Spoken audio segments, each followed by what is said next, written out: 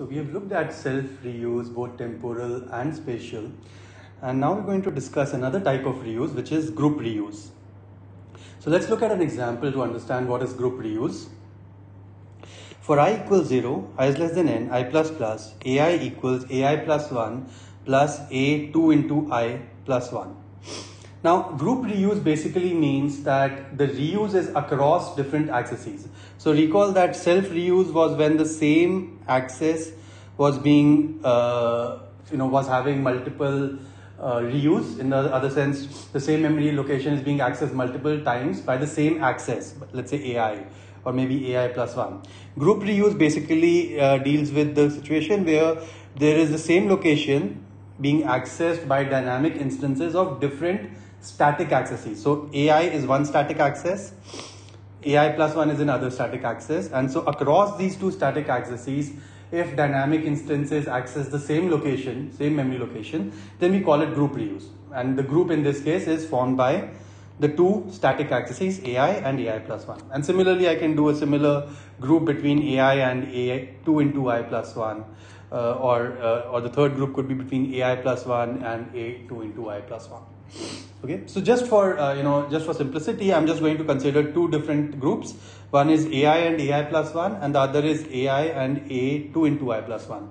We consider pairwise groups usually, and so we have, you know there are three pairs here, but we're just looking at two different pairs. AI versus AI plus one is one group, and AI versus A2 into I plus one is the other group. Now, if I look at the first group, AI and AI plus 1, notice that I is ranging from 0 to n. So, in the first uh, iteration, when I is 0, this is AI is going to access A0 and uh, AI plus 1 is going to access A1. In the second iteration, AI is going to access A1 and AI plus 1 is going to access A2 and so on. And so, whatever was accessed by the zeroth iteration in AI, uh, in AI plus 1 is being accessed by the first iteration in AI, right? And so there is, uh, so in general, anything that is accessed in the nth iteration or let's say kth iteration uh, by AI plus 1 is being accessed by AI in the k plus 1th iteration.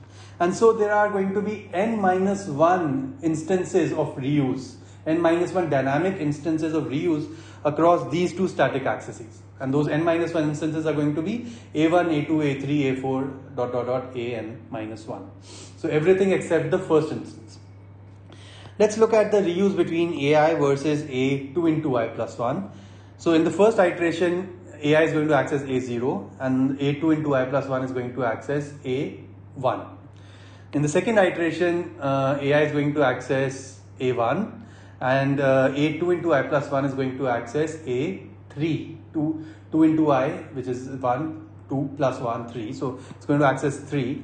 In the second iteration, AI is going to access A2 uh, and A2 into i plus 1 is going to access A5 and so on. And so, so there is some reuse, but the reuse is less in this case because AI is basically incrementing by 1 on every iteration, whereas A2 into i plus 1 is incrementing by 2 on every iteration. And so we can say that the amount of reuse in the first group, which is AI and AI plus 1, is order is n minus 1 exactly speaking. It's n minus 1 different instances which are going to have dynamic instances which are going to have uh, reuse. On the other hand, AI versus 2 into A, uh, A2 into I plus 1 is going to have order n by 2 reuse. It's only the odd elements that are going to of A that are going to have reuse. The even elements are not going to have reuse.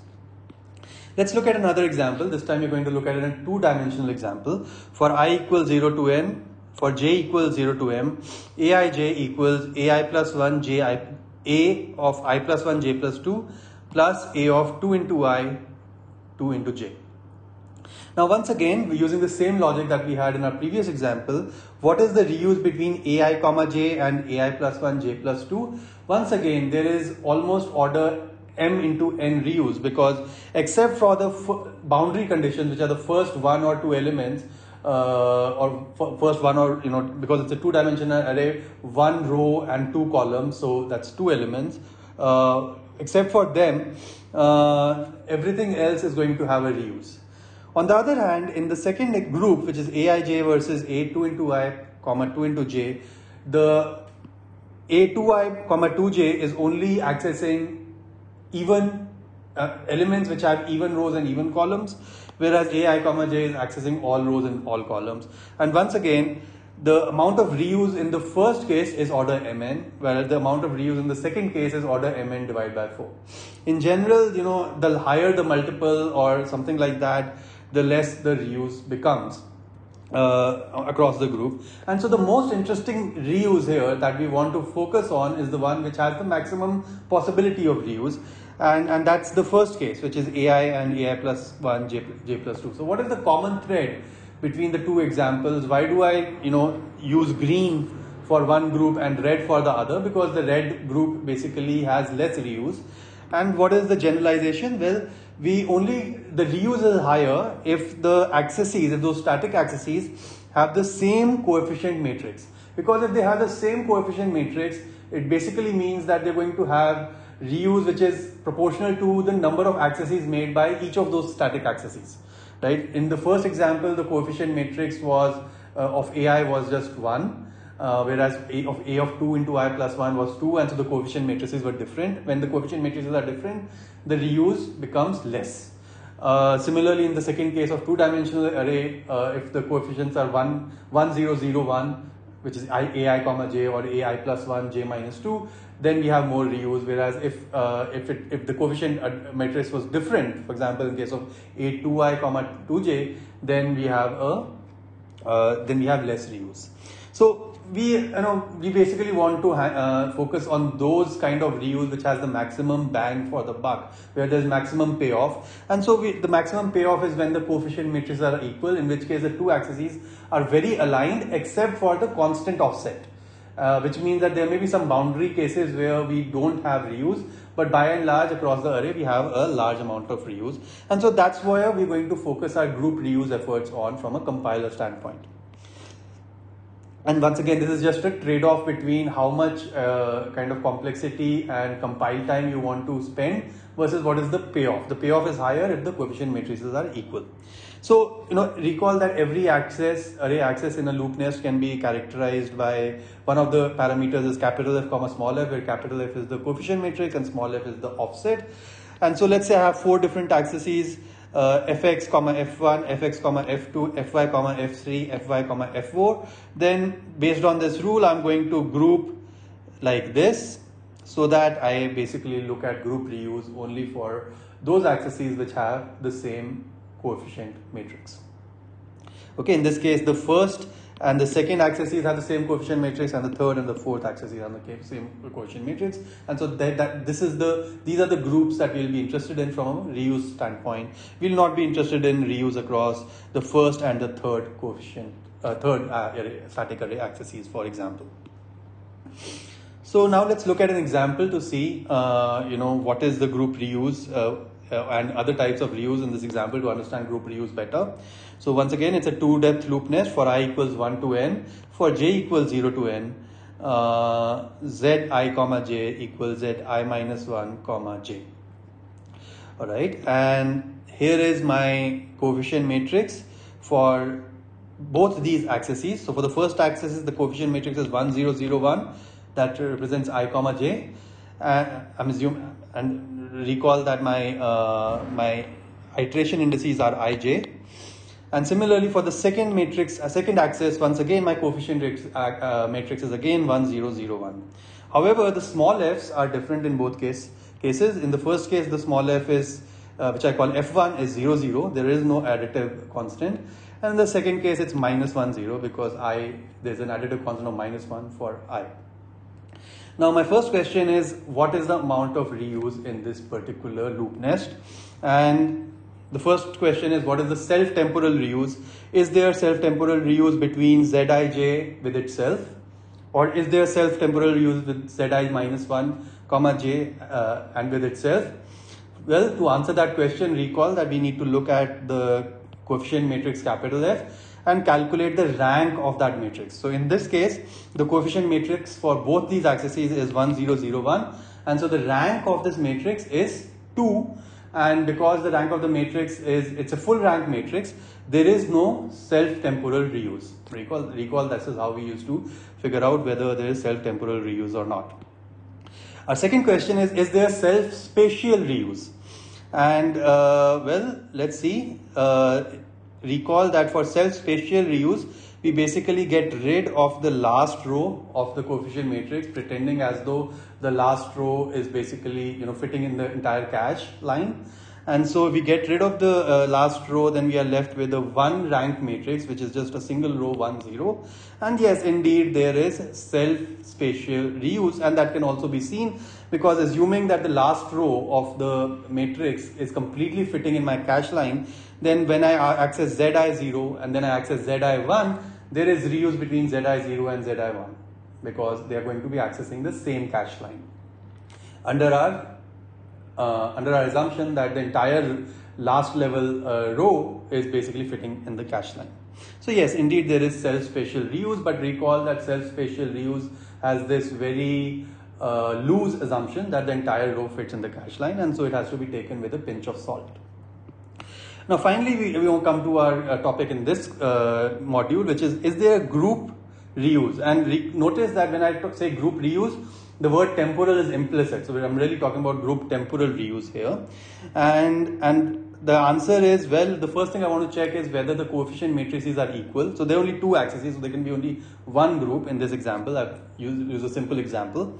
And and the coefficient matrices are equal. So uh, if the coefficient matrices were not equal we would just said no there is no group reuse because we just i mean we are only interested in that type of group reuse where there's a large amount of reuse and which can only happen if the coefficient matrices were equal. So there's no we assume that there is no reuse. So in this case there is reuse because the coefficient may, there may be reuse if the coefficient matrices are equal. Indeed they are equal and so there is reuse. And so how do i figure out when there is reuse? So the reuse happens when whenever you know we basically say that the array accesses access the same memory location. In other words, if the first access is accessing uh, i1 comma j1 or you know in short I say i1 vector form uh, with the underline and similarly for the second access it's i2 vector which is which is representing I, the scalars i2 comma j2 then f when is f i1 plus f1 equal equal to fi2 plus small f2. And the answer to this is basically because the coefficient matrices are equal, I can just rewrite this equation as i1 minus i2 equals f1 into, uh, you know, I just kind of rearrange the things and substitute the values, I get minus 1 and 0. So in other words, if i1 vector minus i2 vector equals minus 1 comma 0, the two iterations are going to access the same location. In other words, whenever i1 equals i2 plus 1 whenever i1 equals i2 plus 1 and j1 equals j2 the scalars then we are going to have reuse. Notice that there is reuse here uh, which is a, which is a good thing but is there locality? Is there uh, you know is there locality across this reuse? Well if i look if i want to answer so first of all there is reuse. The answer is yes just because the coefficient matrices are equal. Now the second question is I want to point out that you know we're just looking at the coefficient matrices. You, one question that you may have is what if the offset is very large, in which case the corner cases become really large, and so it, you know, the reuse becomes really small. Indeed, that is you know that's possible, but we are just using an approximation here, assuming that the cons the, uh, the the the kind of boundary cases are going to be small, and so if the coefficient matrices are equal, we assume there is group reuse. Now the other question is, is there locality? And when we, we want to answer questions of locality, it's not enough to just have reuse we also have to figure out what is the reuse distance. And in this case, the reuse distance can just be figured out by figuring out what is the dist difference, distance between the iteration count of the first access and the iteration count of the second access when they access the same element. And that is already given by this particular equation, which is I1 minus I2 equals minus 1 comma 0. So what is the reuse distance? Well, notice that uh, here I, the, you know, the i, which is different across the two iterations, is the second uh, dimension. The innermost dimension is j, and the second innermost dimension is i, and that's where there is a distance uh, difference. There needs to be a distance between the two iterations for there to be reuse, and so the the distance, the reuse distance in this example is actually order n because uh, you know, for example, z00 and z1 0 uh, so the basically I'll have to go through n iterations of the inner loop to have reuse for example if i equals 1 uh, and j equals 0 then uh, z i comma j is going to access 1 comma 0 and then when i equals 2 and j equals 0 then uh, the second access, uh, second static access is going to access z1 comma 0. So basically the distance, the two iterations that are going to have reuse are 1 comma 0 and 2 comma 0. And what's the distance between 1 comma 0 and 2 comma 0? Well, that's actually the entire length of the inner loop, which is order n, because you know the we are basically going to traverse the loop nest in the lexicographic order, ascending lexicographic order. So 1 comma 0, 1 comma 1, 1 comma 2, 1 comma 3, all the way to 1 comma n, and then we come to 2 comma 0. So the reuse distance is pretty large. In general, if I want to calculate the reuse distance, once I have the distance vector, which is this minus 1 comma 0, I just need to scan bottom up in this reuse vector and find the last non-zero dimension that is not 0, alright. So I've written here equals 1, but I should say not, which is not 0. And whatever is that dimension, let's say that dimension is k, then the reuse distance becomes order n to the power k, where n is the length of uh, iteration space of one dimension on average. So in this case, that particular index is 1, k is 1, and so the reuse distance is order n to the power 1 or order n. If, for example, the loop nest was in the other order, which means you know j was the outermost uh, uh, iteration variable index and i was the innermost uh, iteration index, then the distance vector would have been 0 comma minus 1 and in which case my reuse distance would have been order n to the power 0 because the last uh, non-zero uh, value in the distance vector would have been uh, at index 0. So it would become order n to the power 0, which is order 1, and reuse distance would have become really small, and then there would have been space, uh, there would have been locality. All right, uh, but here there is no uh, locality because order n is pretty large in terms of temporal locality, uh, but there is reuse in this in this particular example as it stands right now.